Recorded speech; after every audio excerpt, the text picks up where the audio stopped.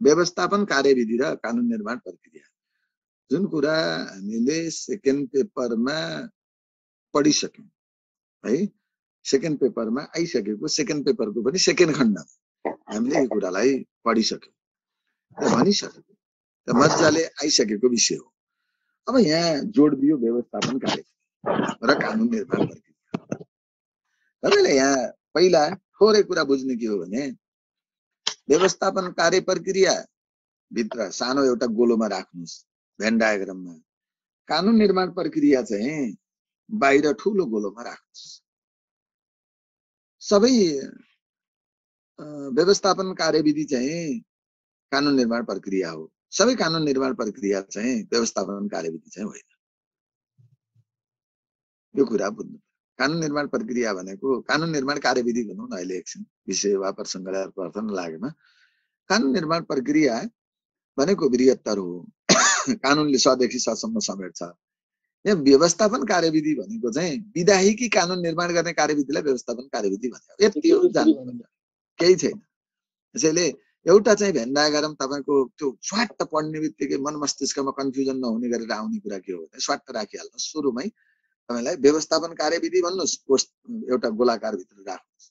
त्यो गोलाकारलाई फेरि बाहिर गोलाकारले हेर्नुहोस् र कानुन निर्माण प्रक्रिया भनेर लेख्नुहोस्। यो दुईटा कोर्सले जे भनेको छ त्यसैमा जोड अब यसले के बुझ्यो भन्दाखेरि अब त्यो व्यवस्थापन कार्यविधि भनेको अनि एरो दिएर तपाईँले सम्झनाका लागि ऐन निर्माण प्रक्रिया भनेर लेख्नुहोस्।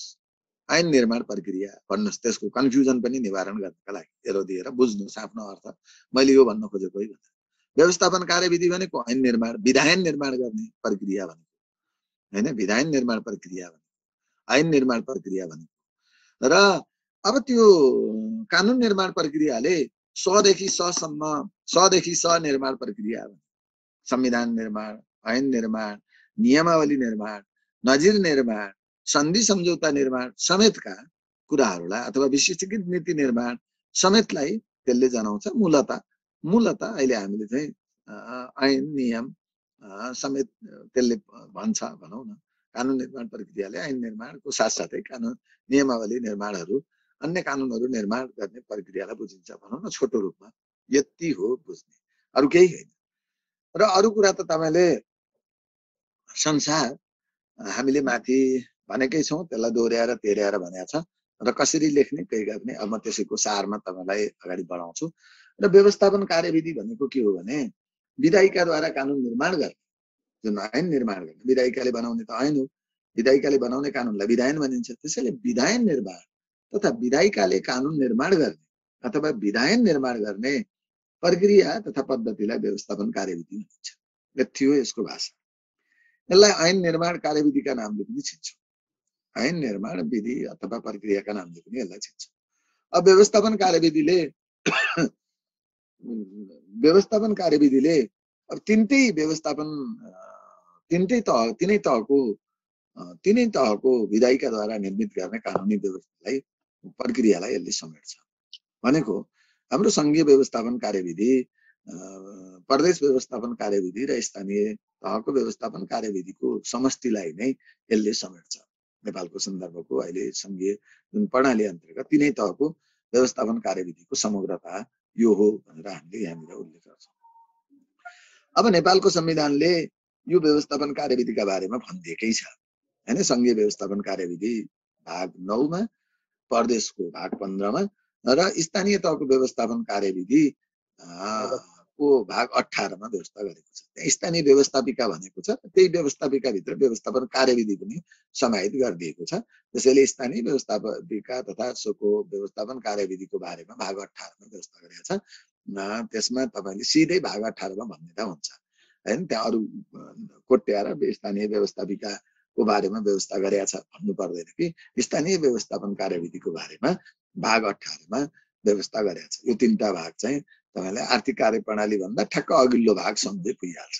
व्यवस्थापन कार्यविधि होइन? आर्थिक कार्य प्रणाली भाग दस सोह्र उन्नाइस सम्झनु भएको छ भने त्योभन्दा एक एक स्टेप अगाडि चाहिँ व्यवस्थापन त्योभन्दा एक एक स्टेप अगाडि चाहिँ व्यवस्थापन कार्यविधि छ। सम्झना पनि कहिले कहिले ट्रिक लगाएर सजिलो हिसाबले सम्झ पुगिहाल्छ।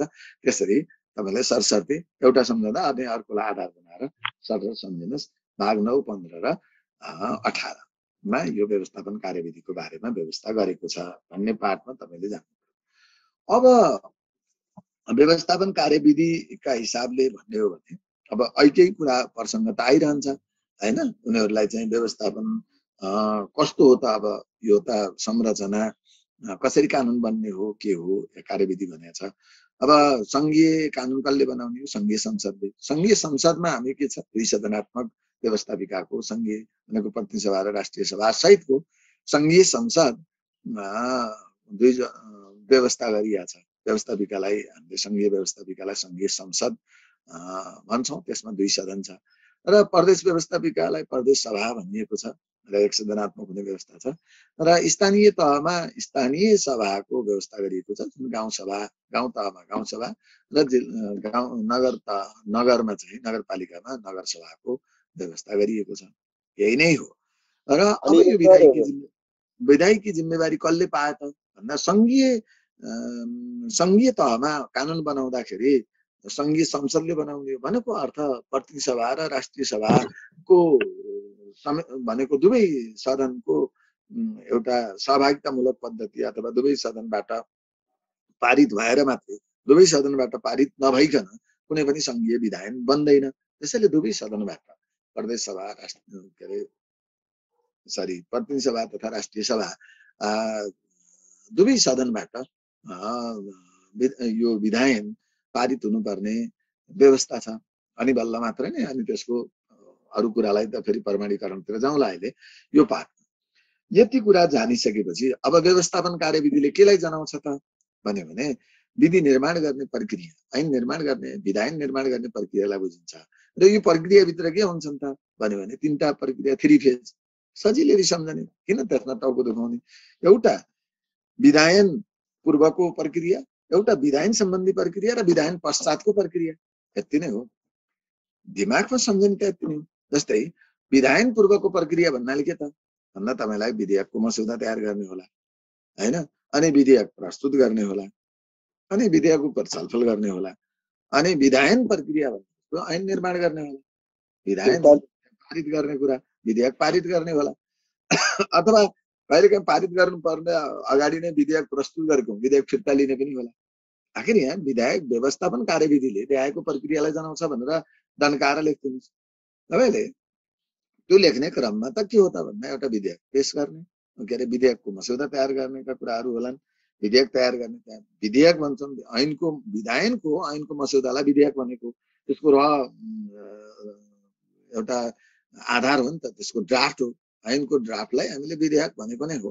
बिल अङ्ग्रेजीमा बिल भनौँ त्यसैले त्यो विधेयक विधेयकको विधेयक तयार गर्ने भनेको ऐनको मसौदा विधायनको मसौदालाई हामीले विधेयक भने हुनाले विधेयक तयार गर्ने भन्ने बित्तिकै बुझ्यो अनि विधेयक पेस गर्ने भन्यो। विधेयक पेस गरे प्रस्तुत गरिसकेपछि विधेयक फिर्ता लिने पनि हुन्छ।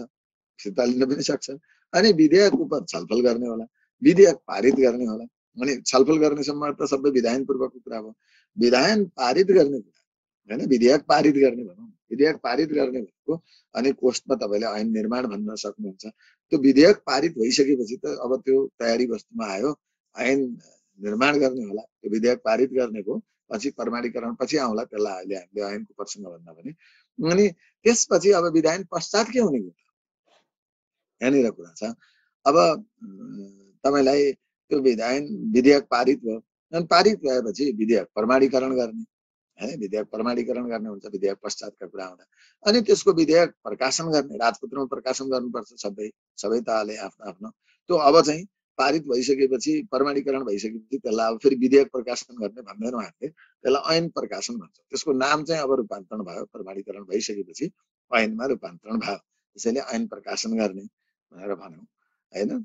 ऐन प्रकाशन गर्ने अब तपाईँले झुक्किएर विधेयक प्रकाशन गर्ने भन्नुभएको छ भने नि आपत्ति भइहाल्दैन अर्थ त्यो हो अनि त्यसपछि ऐन प्रकाशन गर्ने अब यतिमा यसको प्रक्रिया सकिन्न किन भन्दा व्यवस्थापन कार्यविधिले यो त निरन्तर प्रक्रिया हो र नयाँ ऐन निर्माण गर्ने र विद्यमान ऐनमा संशोधन गर्ने प्रक्रिया समेतलाई व्यवस्थापन कार्यविधिले समात्छ मैले कानुन निर्माणमा नयाँ कानुन निर्माण गर्ने तथा विद्यमान कानुनमा परिमार्जन गर्ने दुइटै प्रक्रियाले समेट्छ भनेर हामीले पहिला पढिसकेका हो। अहिले पनि त्यही पढ्छौँ। त्यसैले व्यवस्थापन कार्यविधिले पनि व्यवस्थापन कार्यविधिले पनि हाम्रो नयाँ विधायन निर्माण गर्ने प्रक्रिया तथा विद्यमान निर्माणमा के अरे विद्यमान विधायनमा संशोधन गर्ने परिमार्जन गर्ने त्यसमा सुधार गर्ने प्रक्रिया समेत हुन्छ भनेपछि त त्यो विधायन किन बनाएको? कार्यान्वयनका लागि हो। अनि विधायन प्रकाशन गर्ने भइसकेपछि विधायन कार्यान्वयन गर्ने ऐन कार्यान्वयन गर्ने। अनि त्यो ऐन कार्यान्वयन गर्दाखेरि फेरि तपाईँले त्यसमा विभिन्न होइन पृष्ठपोषणहरू प्रदान गर्ने होला। फेरि त्यो ऐनलाई संशोधन गर्ने होला। अनि ऐन संशोधन गर्ने प्रक्रियाका लागि चाहिँ फेरि पुनः विधायन प्रक्रिया चाहिँ अगाडि बढाउने। फेरि त्यही प्रक्रिया पुनः त्यही प्रक्रिया अगाडि बढाउने एउटा पार्ट र अब कहिलेकाहीँ के हुन्छ आकस्मिक अवस्था पर्या हुन्छ। आकस्मिक अवस्थामा जुन आकस्मिक व्यवस्थापन गर्न केही कहिलेकाहीँ सङ्क्रमणकालीन व्यवस्था गर्नको लागि अध्यादेश जारी गर्ने कुरा हुनसक्छ। अध्यादेश जारी गर्ने कुरा। अनि त्यो अध्यादेश तयार गर्ने अध्यादेश जारी गर्ने अध्यादेशलाई अनुमोदन गर्ने सम्मका सबै कुराहरू अथवा अध्यादेश खारेज गर्ने यी प्रक्रियाहरू पनि अध्यादेशसँग सम्बन्धित प्रक्रियाहरू पनि विधायन अन्तर्गत नै पर्छ। किन? ऐन सरह नै हो अध्यादेश। एउटा अध्यादेश भनेकै के हो त? भन्यो भने एउटा सङ्कटकालीन तथा सङ्क्रमणकालीन विशेषतः सङ्क्रमणकालीन सङ्क्रमणकालीन अवस्थाको ऐन हो। सङ्क्रमणकालीन अवस्थाको ऐन नै अध्यादेश हो। त्यो त्यसैले त्यसलाई पनि हामीले अध्यादेशलाई पनि ल्याएर जोडिदियौँ भने तपाईँलाई व्यवस्थापन कार्यविधिले सम्पूर्ण रूपमा जे जति क्रियाकलाप छन् अथवा प्रक्रिया के छ भन्यो भने सबै विषय यही हो यतिमा सकियो। केही छैन यो। यिनीहरूको छोटो छोटो लेख्नुपर्छ यति कथाले माग्यो भने लेख्ने हो कथाले माग्यो भने लेख्ने हो त्यहाँभित्र। अहिले त्यति खाँचो हुँदैन तर तपाईँलाई किताबहरूमा नलेज होस् भनेर राखिदिएको छ। तपाईँलाई व्यवस्थापन कार्यविधिको बारेमा लेख्नुहोस् भन्यो भने त व्यवस्थापन कार्यविधि भने यो हो। व्यवस्थापन कार्यविधिका बारेमा संविधानमा यो किसिमको व्यवस्था गरिएको छ। अनि यो व्यवस्थापन कार्यविधिले यी कुरालाई उजागर गर्छ। यो अन्तर्गतका कार्य प्रक्रियाहरू नामसार छन् भनेर तपाईँले सरसर्ती लेख्दै जाने हो होइन? त्यसरी जाँदाखेरि तपाईँलाई अङ्कभार कसरी छ? व्यवस्थापन कार्यविधिकै बारेमा तपाईँलाई दस अङ्क दियो त्यही एलाबोरेट गर्ने ठाउँ यसैमा पनि छ। र यसैले मात्रै पनि पुग्न सक्छ। त्यो भित्र अलिकति केही कुरा लेखिदिन्छु भन्यो भने जस्तै विधेयक तयार गर्ने भन्यो भने हामीले सरकारी विधेयक गैर सरकारी विधेयकका कुरा आउलान् अथवा अरू विधेयकका प्रकारहरू त कति छ कति होइन? त्यो विविध हिसाबले भनौँला अब सरकार सारभूत रूपमा सरकारी विधेयक सरकारले मन्त्रीले के अरे सरकारी विधेयक सरकार कार्यपालिकाबाट सरकारको तर्फबाट तयार हुन्छ भने गैर सरकारी विधेयक चाहिँ सभासदबाट तयार हुन्छ भन्न पर्यो। अनि पेस गर्ने कुरा पनि के हो भन्दा विधेयक पेस गर्ने कुरा सरकारी विधेयक तपाईँले मन्त्रीले पेस गर्ने अनि सम्बन्धित अब गैर सरकारी विधेयक चाहिँ सम्बन्धित सभासदले पेस गर्ने हो। त्यो कुरा हो। त्यसका लागि पनि फेरि त्यहाँ दर्ता गर्ने कुरा छ। अब सरकारी विधेयक केही अनिवार्य रूपमा तपाईँले ती कुरा बोल्न सक्नुहुन्छ। हामीले चाहिँ सुरक्षा सम्बन्धी विधेयक तथा आर्थिक विधेयकहरूलाई अनिवार्य रूपमा सरकारी विधेयकका रूपमा मात्रै प्रस्तुत गर्न सकिनेछ। त्यो कुरा पनि हामीले बुझ्नु पर्यो। र सरकार गैर सरकारी विधेयकको रूपमा तिनीहरूलाई पेस गर्न सकिँदैन र अन्य विधेयक चाहिँ गैर सरकारी विधेयकका रूपमा पेस गर्न सकिन्छ। त्यो किसिमले पनि भन्नु पर्यो। त्यस्ता कुराहरू त कयौँ कुरा हुन्छन्। अब त्यहाँभित्र फेरि अब व्यवस्थापिका जुन प्रतिनिधि सभा नियमावली राष्ट्रिय सभा नियमावलीमा भएका व्यवस्था अनुसार चाहिँ फेरि त्यो प्रत्येकलाई दर्ता गर्ने के छलफल गर्ने के त्यसका प्रक्रिया के त्यतातिर हामी जाँदैन। त्यो त जानु पर्दैन। गुरु व्यवस्थापन कार्यविधि भनेपछि यो सङ्घीय व्यवस्थापन कार्यविधि प्रदेश व्यवस्थापन कार्यविधि र यो स्थानीय व्यवस्थापन त्यो अलग अलग त कथाले माया पनि लेख्न सकिन्न जस्तो लाग्यो है त समग्र लेख्नै लेख्नै हुँदैन लेख्नै पर्दैन। लेख्नै हुँदैन पहिला लेख्नै पर्दैन। पहिला संविधानमा त्यो भन्ने र समग्रमा तपाईँले यही कुरा बोल्ने हो नि त। होइन? अब त्यो प्रदेश व्यवस्थापन विधि फलानो यो विधि भन्न थाल्यो भने त गइगयो नि। अब त्यसपछि अब जुन प्रमाणीकरण भनेको छौ नि प्रमाणीकरणमा आउने तपाईँले भन्न खोजेको कुरा मैले बुझिसकेँ। अनि विधेयक पारित गर्ने भनेर हामीले जुन कुरा भन्यौँ छलफल गर्ने भन्यो भने सम्बन्धित व्यवस्थापिकामा छलफल गर्ने। तपाईँले अहिले जुन कोट्याउन खोज्नु भएको हरिजीले अलिकति अलिकति लेख्ने कि भन्दाखेरि यो कुरा लेख्न आवश्यकता हुन्छ तपाईँले लेख्न सक्नुहुन्छ। टाइटल बनाउनु भयो अनि त्योभित्र के हो त भन्दा जस्तै प्रदेशको प्रदेशमा अब सङ्घीय तहमा चाहिँ जहाँ पेस गरेको हो जुन सदन छ व्यवस्था सम्बन्धित व्यवस्थापिकामा सम्बन्धित उसमा छलफल गर्ने। होइन कुरा त्यति नै हो।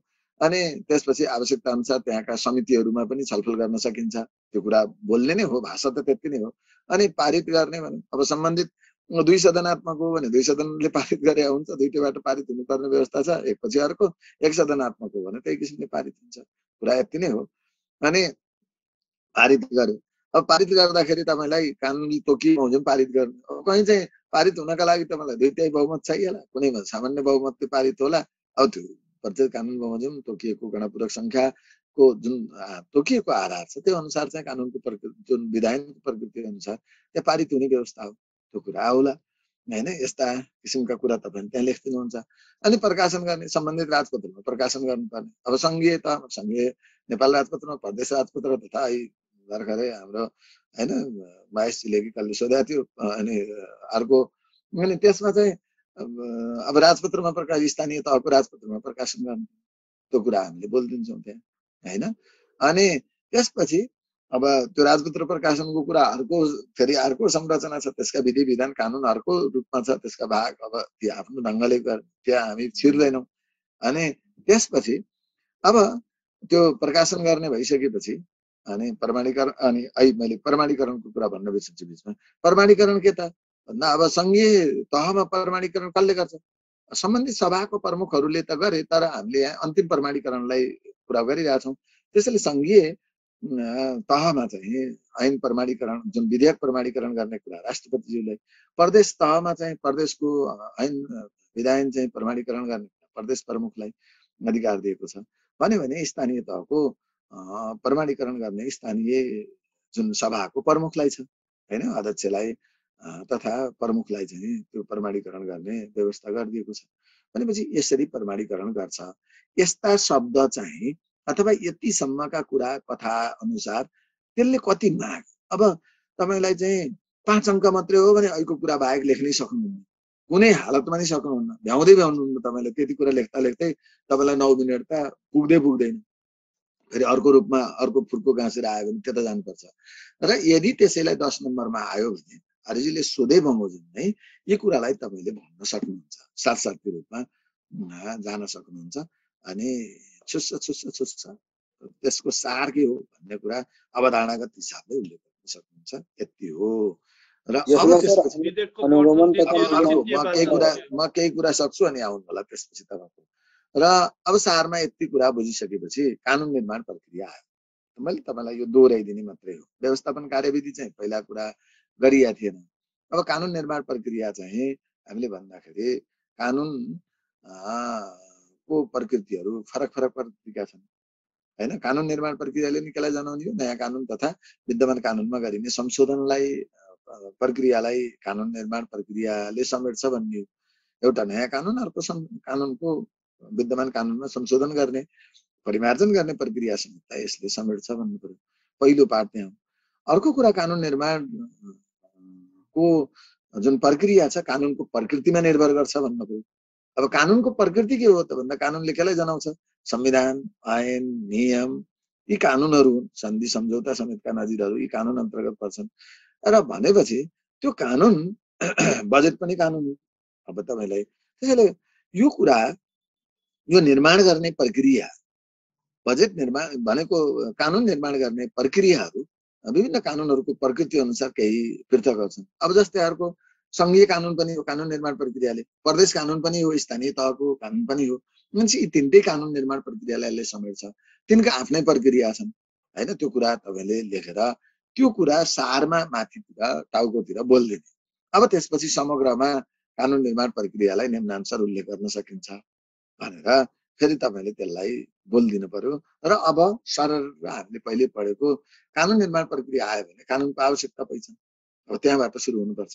कानुनको आवश्यकता पहिचान गर्ने। त्यसको प्रक्रिया के हो त भन्दा आवश्यकता पहिचान गर्छौँ। अनि कानुनको अब यहाँ अहिले विधेयक भनेको थियौँ। ऐनको मसौदालाई विधेयक भने उनीहरूले विधेयक तयार गर्ने। कानुनको मसौदा तयार गर्ने अनि कानुनको मसौदा तयार गरेपछि त्यसमा त्यो मसौदा चाहिँ कसैको राय परामर्श लिनुपर्ने छ भनेर सम्बन्धित पक्षहरूको राय परामर्श लिने।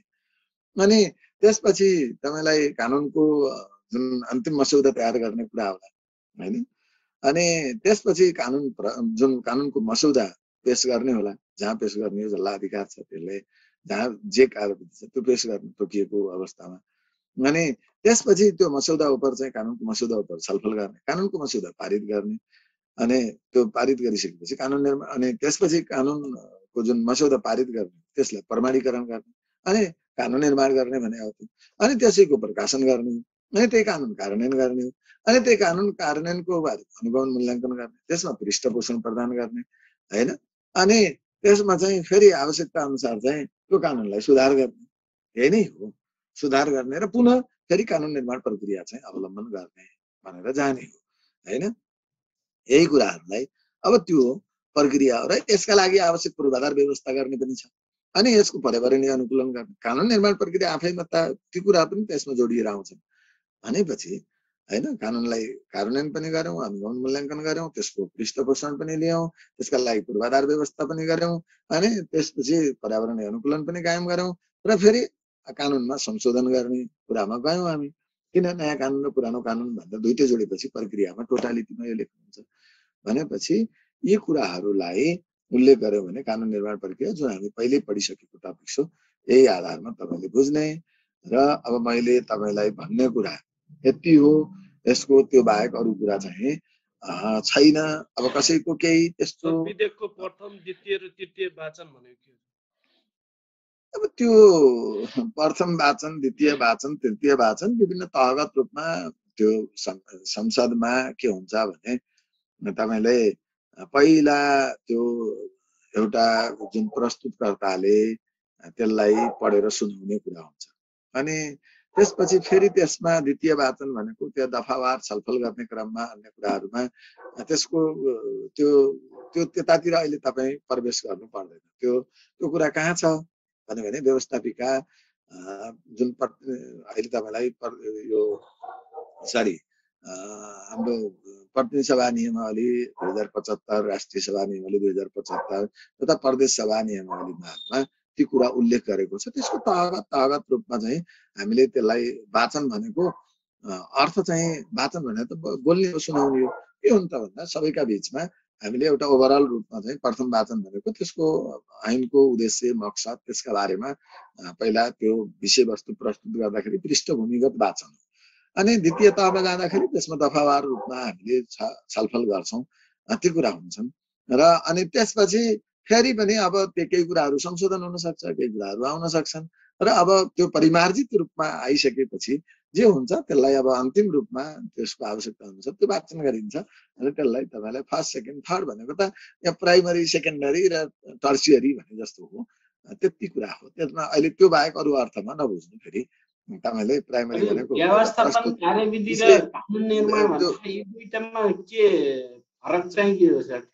अहिलेको भेन्डा गरौँ त्यति हो अरू केही नै होइन तर विधेयक निर्माण अथवा व्यवस्थापन कार्यविधि भनेकोमा बाहेक अरू कानुन निर्माणमा चाहिँ हामीले होलवाला लेख्दै भयो होइन हो हो लेख्ने नै त्यही हो लेख्ने नै त्यही हो अब कानुन निर्माण प्रक्रिया मात्रै जाँचमा आयो भने फेरि के हो भने कानुन निर्माण त कानुनका विभिन्न कुराहरू छन् र कानुन निर्माणमा चाहिँ निर्माण गर्ने जिम्मेवारी कसको? विधायिका हो। विधायिकामा यो किसिमको हुन्छ र समग्र कानुनमा यो प्रक्रिया हुन्छ भनेर जान पनि सक्नुहुन्छ। बुझ्नु भएन कानुन निर्माण कसले गर्ने हो? विधायिकाले। विधायिकाले कानुन निर्माण गर्ने प्रक्रियालाई व्यवस्थापन कार्यविधि भनिन्छ। व्यवस्थापन कार्यविधि यो हो र त्यो बाहेकका अन्य कानुनहरू पनि प्रत्याजित विधायनका कुरा छ नियमावली अन्य कुराहरू छ। समग्रमा कानुन निर्माण कानुनको प्रकृतिमा निर्भर गर्छ समग्र कानुन निर्माण प्रक्रिया यो हो भनेर फेरि दुइटैलाई जोल्ठ्याएर तपाईँले लेख्न सक्नुहुन्छ। त्यो त आफ्नो हो अरू कसैको? संविधान कुरो चाहिँ व्यवस्थापन कार्यविधि हो कि कानुन निर्माण प्रक्रिया हो? सर त्यो विधेयक पेस गर्ने तरिका र पारित गर्ने तरिका भन्ने संविधान। त्यसलाई अलिक छोटाएर लेख्न मिल्छ कि के गर्छ सर? छोटाइसके त। छोट्याएरै त भनिसकेँ मैले। त्यही त भने जे छ त्यही त छोट्याएर तपाईँलाई त्यहाँनिर अरू कुरै चाहिएन नि। त्यहाँ तपाईँले भन्न खोजेको अर्थ त्यहाँ त अर्थ विधेयक भयो भने अब सङ्घीय व्यवस्थापन विधिमा गयो भने विधेयक पेस गर्ने विधेयक पारित गर्ने जुन विधि छ त्यसमा त्यो पाठमा यसरी यहाँ प्रस्तुत भइसकेपछि पारित हुने प्रक्रियामा सरकारी विधेयक हो भने यसो गैर सरकारी विधेयक भन्यो भने यसो अर्थ विधेयकको सन्दर्भमा यो हो यसरी पारित गर्यो। अहिले अब जस्तै नागरिक नागरिकता विधेयकको बारेमा सामान्य नै राष्ट्रपतिज्यूकोमा गएको छ नि त। अनि अब अरू विधेयक हो भने अर्थ विधेयक हो भने त्यसरी राष्ट्रपतिज्यूले चाहिँ त्यहाँ विचार गरेर पुनर्विचार गरेर भनेर पठाउन सक्ने अवस्था हुँदैन। र अरू विधेयक हो भने त्यहाँ भन्न खोजेको त्यो पनि अवधि छ पन्ध्र दिनसम्ममा तिमीले केही छ भने पठाउ भन्ने आधार हुन सक्छ भनेपछि यहाँ चाहिँ तिस दिनसम्मका कुराहरू अरू कुराहरू हुन्छन्। अनि त्यो पठाइसकेपछि दोस्रो चरणमा चाहिँ दोस्रो पटक भन्ने कुरै रहँदैन। दोस्रो पटक स्वत उहाँले पारित गर्नुपर्ने। अब यस्ता धेरै थुप्रो कुरालाई त्यही कुरा तपाईँले सुन्न खोज्नु भएको हो। ती प्रक्रियाहरू यहाँ लेख्नु पर्दैन। अब त्यो लेखेरै सम्भवै हुँदैन। त्यसैले तपाईँलाई कथाले कसरी माग्छ होइन? कथाले कसरी माग्छ त्यो कुरामा जाने हो। तर हामीलाई जुन कोर्स भनेको छ त्यो कोर्सले अथवा ओभरअल रूपमा जान्ने कुरामा यसरी जानुभयो भने अल्मलिनुहुन्न मैले भने बमोजिम जानुभयो भने अब त्यसमा अहिले हामीले त खालि परीक्षा मैत्री हिसाबले ओभरअल रूपमा कन्सेप्ट पनि बुझ्ने परीक्षा मैत्री रूपमा फोकस गर्ने गरेर नै गइरहेको त्यो अघि सरले भन्नुभएको जस्तो थ्री फेजमा तिनैवटा तहको के अरे मिलाएर लेख्दै भइहाल्यो नि होइन सर? भइहाल्यो त। तिनवटा तहमा मिलाएर लेख्ने भनेको कुरा त के हो बस्कने मात्रै माथि बस्कने मात्रै होइन? माथि चाहिँ तपाईँलाई यो भनेको यो हो भनेर अर्थ दिने संविधानमा यो ठाउँमा छ भन्ने अनि त्यसपछि यसले विशेषतः यो कुरालाई जनाउँछ भन्ने अनि यसले यी प्रक्रियालाई समेट्छ भन्ने अनि त्यो एउटा एउटा पोइन्टमा जुन विधेयक तयार गर्ने भन्यो नि हामीले विधेयक तयार गर्ने के हो भने कसले गर्छ? सम्बन्धित कार्यकारी संरचनाले तपाईँलाई कानुन निर्माणमा प्रशासनको भूमिका भनेर पढे होइन र विधेयक तयार गर्ने कसले गर्छ? भन्दाखेरि प्रशासनले मसौदा गरिदिन्छ तयार गर्ने त्यही नै हो। कार्यकारी संरचनाले तयार गरे हुन्छ त्यो अन्तर्गतको प्रशासन संरचनाबाट तयार हुन्छ। भन्यौँ हामीले। अनि त्यो भित्र पनि हाम्रो के हुन्छ सरकारी विधेयक र गैर सरकारी विधेयकका कुरा हुन सक्छन् अनि सरकारी विधेयक कसले गर्छ? सरकारको तर्फबाट प्रशासनले गर्यो गैर सरकारी विधेयक सभासदले गर्यो।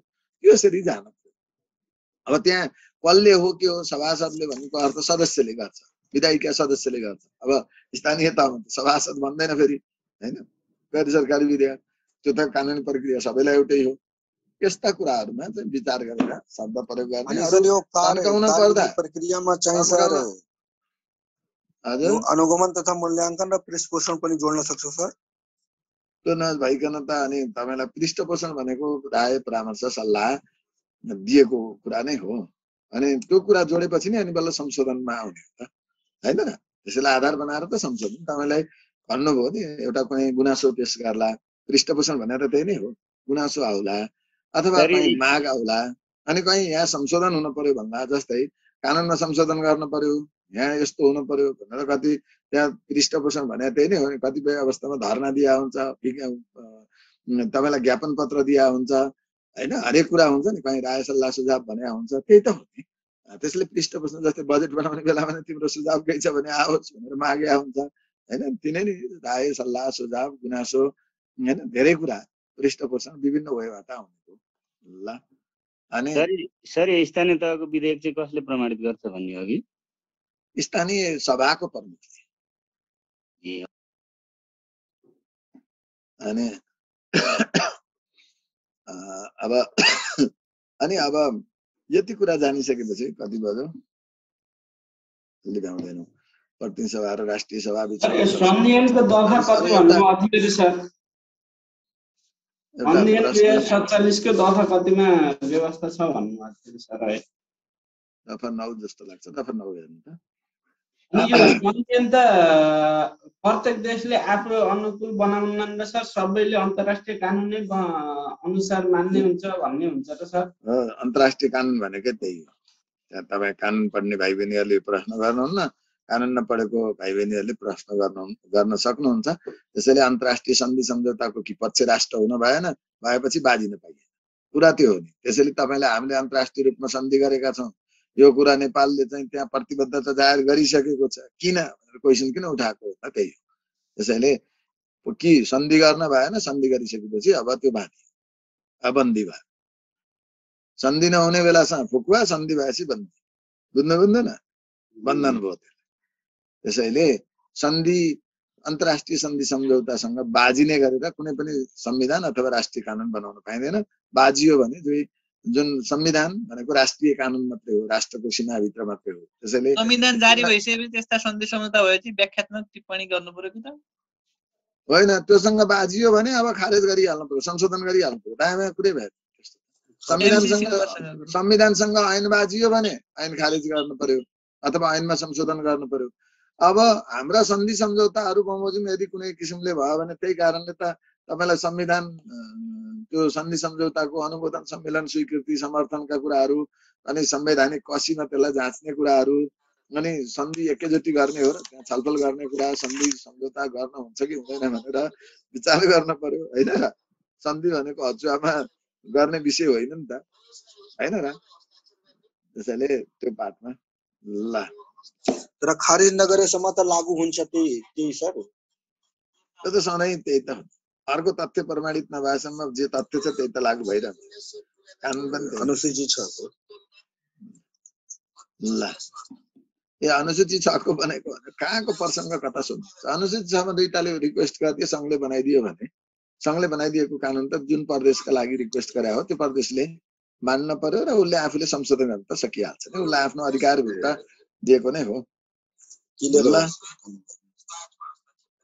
ल अब आज अब पत्नी सभातिर हामी छिर्न भ्याउँदैनौँ नत्र त्यतातिर जान्थ्यौँ प्रतिनिधि सभा र राष्ट्रिय सभाको फेरि त्यसमा अलि अलिक बढी विषय छ त्यसैले अब अहिलेको अहिलेको अहिलेको कुरा आएको थियो नि है तपाईँहरूले अझ फेरि प्लस आउँछ त्यसैले अहिले पर्मिलाजीले कसले सोधेको थियो तिन तहको सम्बन्ध र विधायकी सम्बन्ध नखोजेको अर्थ त्यो तिन तहकै बिचको विधायकी सम्बन्धका कुरामा चाहिँ अब यहाँ प्रतिनिधि सभा र राष्ट्रिय सभा बिचमा सङ्घीय व्यवस्थापिकाको बिचमा मात्रै आफ्नो दुईटा सदनका बिचको सम्बन्ध यहाँ आयो अनि पछाडिका केही कुराहरूले अनि ती कुराहरूलाई गभर्न गर्दै जान्छन्। त्यो कुरा पनि ख्याल गर्नुपर्ने हुन्छ।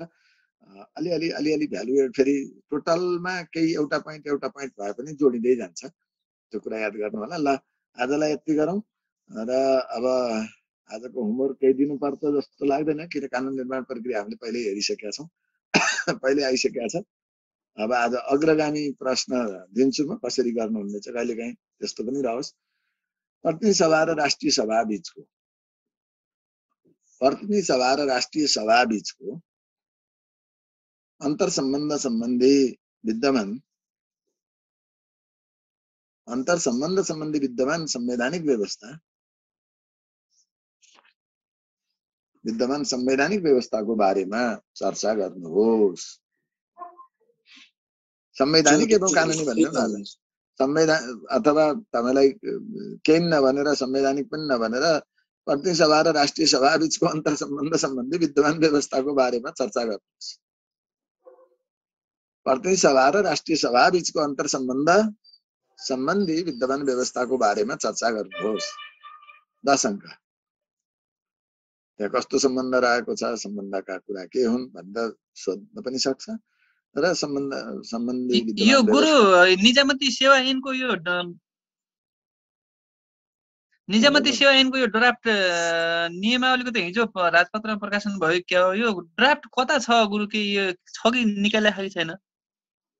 ड्राफ्ट हेर्न मन लाग्यो भने ड्राफ्ट हेर्न तपाईँलाई मन लाग्दाखेरि चाहिँ प्रतिनिधि सभाको राष्ट्रिय जुन सङ्घीय संसदको वेबसाइटमा जाने अनि त्यहाँ चाहिँ विद्या त्यो भनेको हुन्छ अब नियमावलीको कुरा त त्यहाँ कुरा रहेन।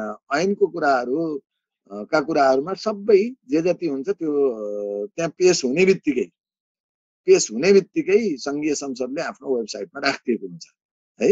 त्यसैले त्यो सङ्घीय संसदभित्र हान्ने बित्तिकै त्यहाँ प्रतिनिधि सभा र राष्ट्रिय सभा भने हुन्छ। र त्यहाँ अर्को एउटा टाइटल चाहिँ विधेयक भनेकै हुन्छ। विधेयकको पनि स्टाटस हुन्छ। विधेयक प्रस्तुति विधेयक फिर्ता विधेयक पारित अनि त्यसपछि प्रमाणीकरणको अवस्था पनि कहाँ हो भनेर हुन्छ त्यहाँनिर। कहिलेकाहीँ प्रमाणीकरणको क्रममा रह्यो आयो कि आएन भने फेरि सम्माननीय राष्ट्रपतिकोमा गयो भने फेरि राष्ट्रपतिको कार्यालयको वेबसाइट हेऱ्यो भने पनि त्यहाँ पनि देखिन्छ। अन्त त्यहाँ धेरै समय राख्दैन। प्रतिसभामा चाहिँ के अरे हाम्रो सङ्घीय संसदको वेबसाइटमा चाहिँ रहिरहेको हुन्छ। त्यहाँबाट हेर्न सक्नुहुन्छ ऐनको सन्दर्भमा। अब नियमावलीको सन्दर्भमा कहिले काहीँ राख्छन् अब कहिले काहीँ सधैँ राख्छन् भन्ने छैन। त्यो प्रक्रियागत रूपमा भएको पारित भइसकेपछि त अब मन्त्री परिषदबाट पारित भइसकेपछि नियमावली राख्ने अब सरकारले गरेको नियमावली फेरि अरूले गरेका नियमावली त अरूले पनि नियमावली जारी गर्न सक्छन्। त्यो त संवैधानिकहरूले जारी गर्न सक्छन् होइन? व्यवस्थापिकाले जारी गरे हुन्छ न्यायपालिकाले जारी गरे हुन्छ उनीहरूलाई अधिकार दिएको हुन्छ उनीहरूको आफ्नो आफ्नो ठाउँमा हुने त्यो। र यता नेपाल सरकारले अथवा सरकारले भनौँ न कार्यकारी संरचनाले जारी गरेका नियमावली त अब कि नेपालको सम्बन्धित मन्त्रालयहरूको वेबसाइटमा होला या त सङ्घीय तहमा भनिदियो भने प्रधानमन्त्री तथा मन्त्री परिषदको कार्यालयको वेबसाइटमा हुन्छ त्यही हेर्ने हो। अब त्यो बनाएर सबै अन्तिम बनाइसकेपछि मात्रै काम यो हाम्रो ल कमिसनमा हुने हो नत्र हुँदैन। ल विषय यति हो।